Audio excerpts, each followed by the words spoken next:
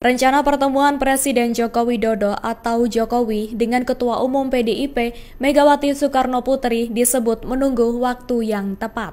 Hal itu diungkapkan Koordinator Staf Khusus Presiden Ari Dwi Payana melalui keterangan pers pada Jumat 12 April 2024.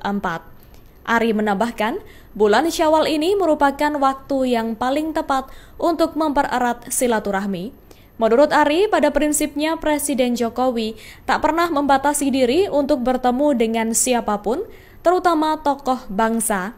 Seperti diketahui, upaya ini dilakukan seusai isu hubungan Presiden Jokowi dan Megawati memburuk jelang pemilihan Presiden 2024.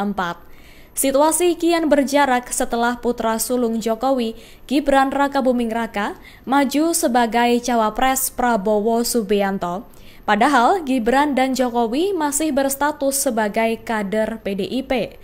Terlebih, PDIP telah mengusung capres sendiri yang menjadi pesaing Prabowo, yakni Ganjar Pranowo.